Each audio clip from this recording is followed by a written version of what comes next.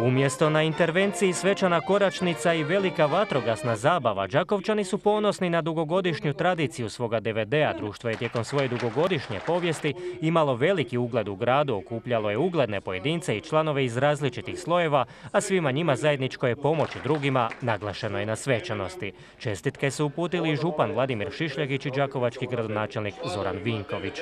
Obljetnica je značajan događaj ne samo za razvoj đakovačkog i slavonskog, nego i hrvatskog vatrogastva naglasio je predsjednik društva Ivica Mandić, istaknuvši kako je Đakovački DVD svih ovih godina osim zaštite i spašavanja imovine i građana kao osnove djelovanja dao značajan doprinos i na različitim područjima društvenog djelovanja. DVD Đakovo danas je respektabilna središnja vatrogasna postrojba u Đakovštini koja okuplja oko 120 aktivnih vatrogasaca operativaca i tehnički je opremljena da može odgovoriti na sve situacije.